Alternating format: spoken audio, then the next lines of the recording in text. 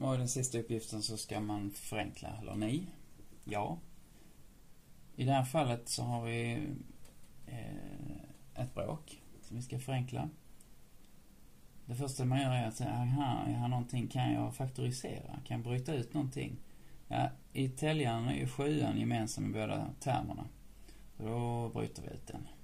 Då står det 7 och sen har jag kvar x plus y.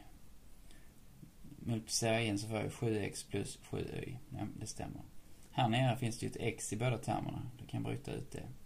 Kvar får jag x plus y. Nu har jag en faktor x plus y i både täljaren och nämnaren. Då är det okej okay att dividera. Detta gäller ju bara när det är bara när det är en produkt. Jag får inte göra så här om jag har, alltså hade jag haft sju y här nere, då kan man ju absolut inte stryka de termerna. Det gäller bara när det är faktorer, enbart faktorer. Du kan bara stryka faktorer. Så att eh, den går bort mot den och det här blir 7 dividerat med x. I B-uppgiften så står det 2x minus 3 i kvadrat minus 2x plus 3 2x minus 3 plus 6 2x minus 3. Och så ska vi förenkla detta. Ja, här ser man faktiskt, man har ju 2x minus 3 överallt. Så den hade jag ju börjat med att bryta ut. 2x minus 3. Sätter jag en stor parentes, det gör jag bara för att vi har tre olika termer. Den är ju kvar, 2x minus 3.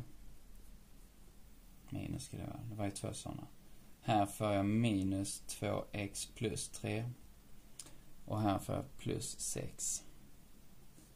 Jag har brutit ut den ur samtliga tre termer. Satt den utanför. Och 2x minus 3 har jag. Och så tar jag bort parenteserna. Då får jag 2x minus 3. Minus 2x minus 3 plus 6. Vad får jag nu? Jag skriver riktigt fult faktiskt. Jag får 2x minus 2x. Den försvinner mot den. Minus 3 minus 3 blir minus 6 plus 6. Det, det blir 0 det där. Alltså blir hela svaret 0. Så det där är 0.